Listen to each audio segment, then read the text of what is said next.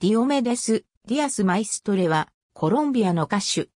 ディオメデス・ディアスは、バレナト史上最大のレコードセラーであり、キャリアを通じて2000万を超え、金、プラチナ、ダイヤモンドの記録を獲得しました。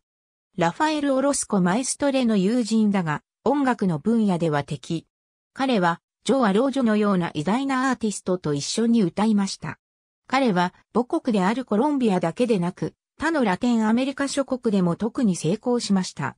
2013年12月22日、ディオメデス・ディアスは、心停止で亡くなりました。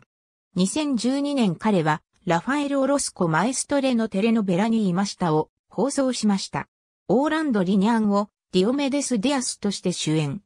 2019年、彼は息子、マルティン・エリアスの生涯に基づいて、カラコルテレビシオンテレノベラで、フランチェスコ・チェドラウィによって描かれました。https コロンスラッシュスラッシュ historia-biografia.com スラッシュ diomedes ダッシュ diaz スラッシュありがとうございます。